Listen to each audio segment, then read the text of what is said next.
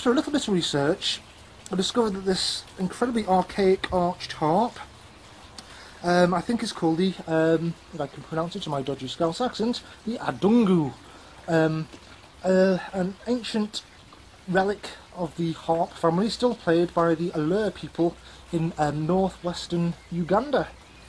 What struck me, uh, this particular instrument is almost identical to the type of arched harps played in ancient Egypt, ancient Egypt, ancient Egypt. In the British Museum, um, such an instrument is preserved. Um, this um, artifact dated back to the 18th dynasty in ancient Egypt, around um, 1500 BC, and it was found in the tomb of, if I can pronounce it to my dodgy Scouse accent, Thua, Thu, Thuani, in um, western Thebes. As I say, the um, continent of Africa is unique, um, unlike the Western world. Relics of the actual instruments of antiquity can still be found all over Africa. For example, in Ethiopia, there's the 10-string Begena lyre, a bass lyre, amazing. The um, Obokano, I think that's in Kenya. That's like another bass lyre. Um, the Litungu, um, the Nyatiti.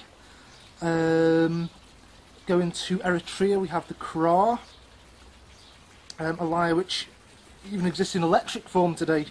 Um, it's been adopted to the modern world with pickups, it's incredible. I'm showcasing this amazing archaic arched harp, um, almost identical to the um, ancient Egyptian arched harp, which has been played way back since the Old Kingdom. Um, and there is quite a lot of examples of the ancient Egyptian arched harp preserved in museums around the world. Although almost identical to the ancient Egyptian arched harp, this harp, after a little bit of research I recently discovered, is um, a harp still played in Uganda, in um, Af- in Africa, and it's called the, if I can pronounce um, the Adungu. Amazing instrument. Africa is unique amongst all the continents of the world because, unlike the rest of the Western world, there are examples of archaic musical instruments that have been played continuously since antiquity.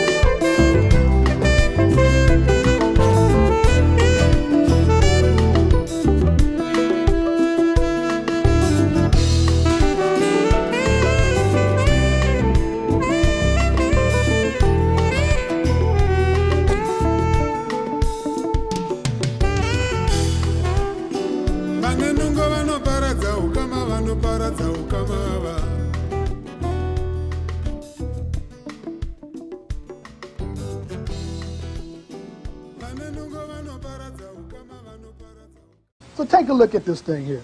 So here you got some sisters on the wall in Kemet. Cornrows. The white folks ain't walking around except for Bo Derek. She copied us for a little while. But you don't see them walking around with cornrows. This is an African hairstyle. Now here you can see the sisters with the melanin in their skin. Now when the National Geographic and the Epigraphic Society gets through with them, this this is what the sisters look like. So they're saying that we're trying to latch on to somebody else's history. Am I trying to latch on to someone else's history, or are they trying to latch onto my history? It's a question. We move on. Here you can see the sisters here in Kemet. Right, this is in this is in Kemet, in the hotel in Aswan. The sisters standing here, you can't tell them apart. And and this is what happened to the sister here in National Geographic. So even the Arabs in Kemet know the sister was black. They put her in the hall in the lobby of the hotel. But we're not being objective here. So here you can see the sister here, dark, phobias, amorous, pinches, black, touch, touch, skin touched by the sun's rays. But National Geographic can't see it that way.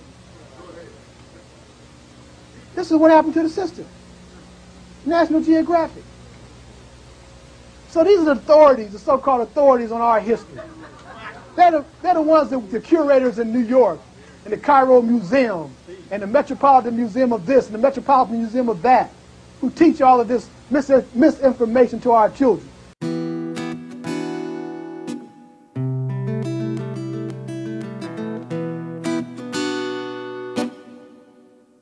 They saw this, Ramesses and Tutankhamun and the various pharaohs had these headrests.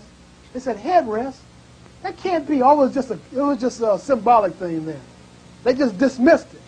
Then you go right to the interior of Africa and you see the brother laying up here with the headrest.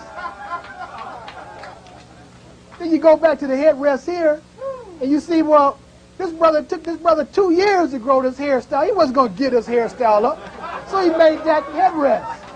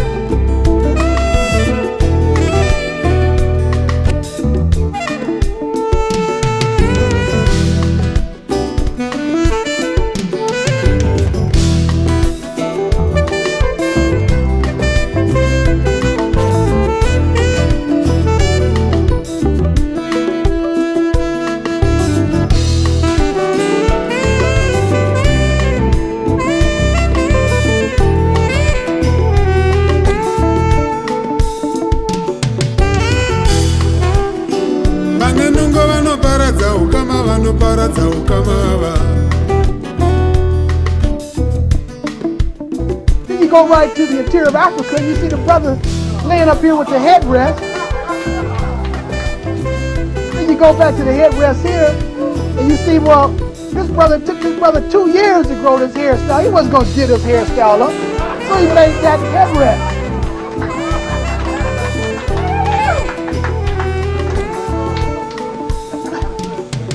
Then you go right to the interior of Africa and you see the brother laying up here with the headrest.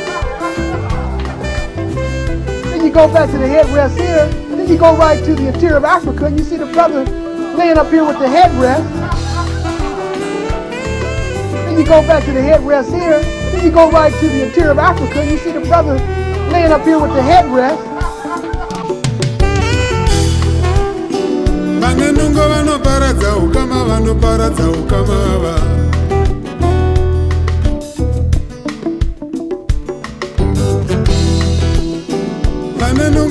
vanoparadza ukama vanoparadza ukamai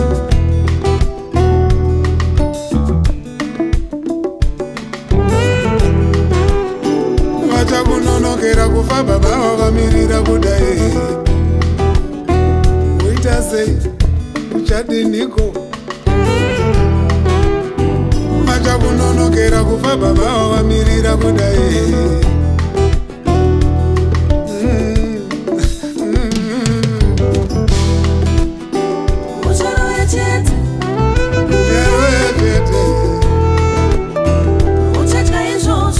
chakaitika chaizvozvo ucharoya chete uchadya izvozvo uchadya izvozvo idzo nhungo urori kutokora vakuru navatorwa kumirira vakashanda kare.